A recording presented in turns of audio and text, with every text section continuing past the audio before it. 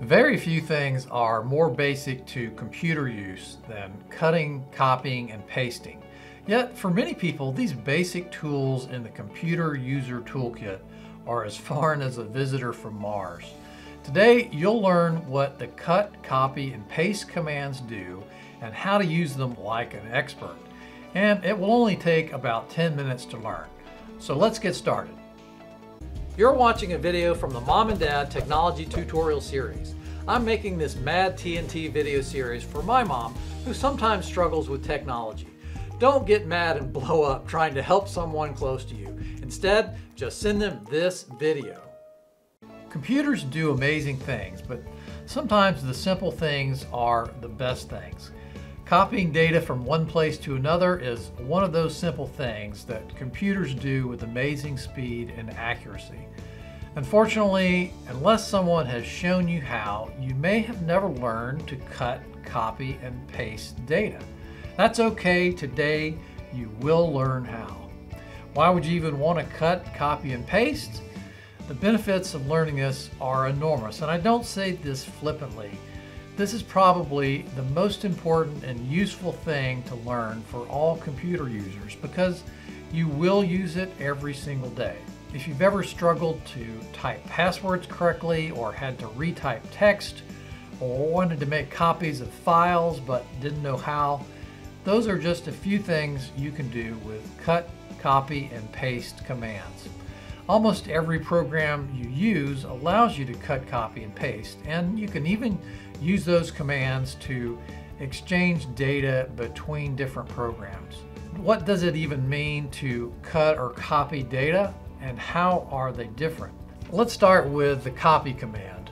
When you copy something, you create a duplicate, leaving the original in place without altering or deleting the original. For example, if I copy myself, I can put this somewhere else like over here. Now there are two copies of me, scary I know. If I cut myself, you can't see me until I paste myself back on the screen. Let's look at this in a program that is commonly associated with cutting and copying. Microsoft Word or any other word processor. If you want to copy a piece of data from a single letter to an entire document, you simply highlight the text you want to copy, then you choose the copy command. Then you move within your document to where you want to place the copied text and you paste it. That's easy for me to say and do because I'm a nerd, nerd sidekick to be specific, but let me show you how you can do this too. First, I'll highlight the text I want to copy. Next, I copy the text. You can do that four different ways. Like Microsoft Word, many programs will have a copy icon near the top of the program window. After you highlight your text, click the copy button. Second, you can highlight the text and right click on your mouse. That means to click the right mouse button. That's the one here. You'll see a small pop-up menu near your mouse pointer. That gives you a contextual menu showing you the commands you can apply to whatever you right click on. The commands are in context with whatever you right click. Click copy with either the right or left mouse button I would suggest that you use the left mouse button so you get in the habit of bringing up the contextual menu with the right mouse button, but selecting the action with the left mouse button. Since the left mouse button is the standard mouse button used for clicking something to trigger an action. Third, let's select the text again. Now this time, hold down the control key on your keyboard. That's the one that says CTRL. For Mac users, you'll use the Command key, not the Control key. While you are holding that key down, press the C key. Now, while we're talking about the keyboard, let me clear up once and for all the timing of when you hold a key down and when you let it up. This part is confusing for some people and can actually be stressful. So just relax and follow along. I'm going to show you how. I'm, I'm going to hold down control, down with my pinky finger, and I can uh, take my finger off anytime and nothing happens. No harm is done. I did not just launch intercontinental ballistic missiles, so relax. Control does nothing by itself. It only works in conjunction with another key. You can press it as many times as you want. Nothing happens. Okay, holding down control. Now I press C. Just a normal length key press is all you need. I release the key. I'm still holding down control. Now I release control.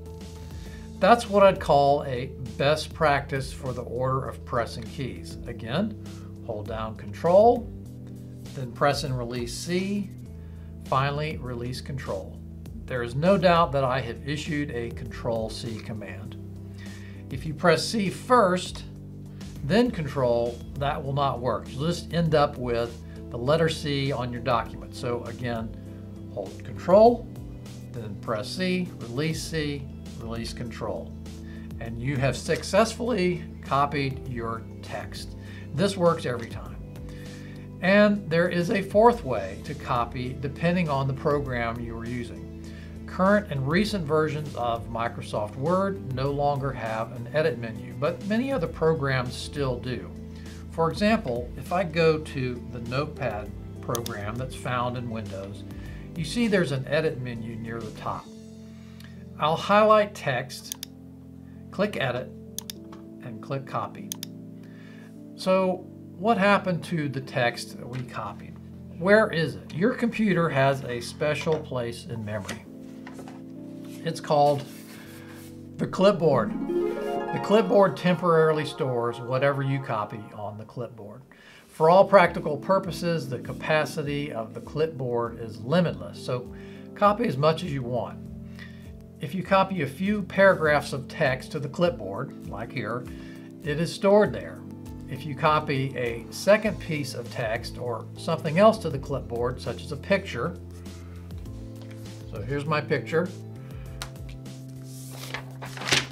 The first text is automatically removed and replaced with the picture. Whatever your program allows you to cut or paste, for example. If I copy some data from a spreadsheet, here's my spreadsheet, that would replace the picture. So the clipboard only holds one cut or copied thing at a time. How do we get something that is on the clipboard off the clipboard so we can use it elsewhere? That's where the paste command comes in. Back before computers made setting type so easy, typesetters, editors, graphic artists, and other people would physically cut passages of text and paste it onto a page. The name stuck and today we paste digital text we have copied. We also paste things other than text, but we'll get into that in part two of this tutorial. First, let's actually paste our copied text. Just like copying, we have four ways to paste text. First, move your cursor to the place in your document where you want to paste your copied text. Click on the paste icon at the top of the window. Second, we can right click and left click paste on the contextual menu. Note that some programs like Microsoft Word have different options for pasting. For now, just click the leftmost icon which says Keep Source Formatting. Third, we press Control V on the keyboard, following the same sequence as with Control C. Hold Control down, press V, release V, and release Control. Note that if you hold V down too long, you will paste multiple copies of your text, so press and release V quickly. And our fourth method of pasting requires that we go back to Notepad, since the edit menu was removed from Microsoft Word. Just click Edit, then click Paste. Back in Microsoft Word, notice what happened. We now have three copies of the text we originally copied. That's because when you copy something to the clipboard, it normally remains there until you copy something else to the clipboard. The clipboard is not erased when you paste its contents. so you can paste as many copies as you desire from zero to infinity. In this case, we pasted it three times into Word. This is a great way to quickly add multiple copies of something into a document. Last but not least, let's use the cut command to remove text from our document. I'll highlight text. First, click the cut icon at the top of the window. Now I'll select another bit of text, right click, and choose cut from the pop-up menu. Third, I'll highlight more text, then press Control X on the keyboard. The text is deleted. And finally, I'll switch to Notepad. I click Edit, then Cut, and the highlighted text is deleted. As with the copy command, the cut command places the highlighted and cut text onto the clipboard while simultaneously deleting it from its original location. So I can paste the last piece of text I cut and it will reappear where my cursor is located. Here comes what may be the scary part of this video. I'm going to suggest to you that for most people, the fastest way to cut, copy, and paste is to use your keyboard. If you can spend just a few minutes getting accustomed to the control commands, you'll soon be using them all day long, every day of the year. You'll have one hand on your mouse, one hand on the keyboard, cutting and pasting like a madman or woman, cutting and copying and pasting text and other things with reckless abandon. I want you to notice where the three keys used for cutting, copying, and pasting are located. Conveniently, all three keys are in a row on the lower left of your keyboard. They are close to the control key, so issuing any of these three commands is simple to do with just one hand.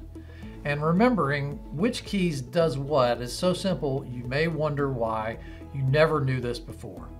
The cut command, Control X, is like killing something. Think of any simple cartoon. If a character has X's for eyes, it is dead. It has been deleted. It has been cut out of living. The copy command, Control C, is simple to remember because the word copy starts with the letter C. And the paste command, Control V, is shaped as if something is pointing down. You paste something down on the page. The shape of the V reminds you what it does. Of all the keyboard commands I use, these three are the ones I used most, all day long. Master these and you'll be a computer nerd in no time. So that's the basics of cutting, copying, and pasting. But moving text around with these commands is just the tip of the iceberg. You can cut, copy, and paste all kinds of things on your computer.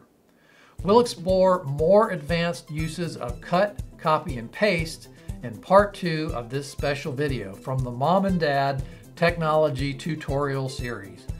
Just click over here to play that video now. I'm Fred Kelley, your nerd sidekick, making you the technology hero.